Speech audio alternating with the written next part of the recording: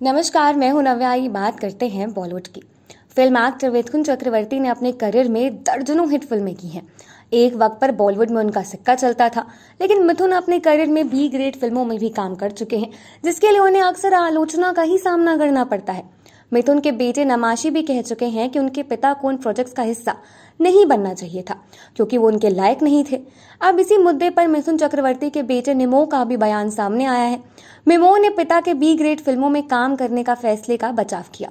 उन्होंने एक इंटरव्यू में मिमो ने कहा है कि मेरे पिता ने जो भी किया, अपने परिवार के फ्यूचर के लिए किया। मिमो ने बताया कि उनकी माँ मिथुन के अच्छे और बुरे दिनों की गवा रही हैं। उन्होंने कहा कि फ़िल्म फ्लॉप होने के बाद उनके पिता हताश हो जाया करते थे। कई चैलेंजेस के बावजूद उन्होंने कड़ी मेहनत की। कई बार तो चार चार शिफ्ट में काम किया करते थे। मिमो ने यह भी बताया कि मिथुन ही वैनिटी वैन के कॉन्सेप्ट को लेकर आए थे।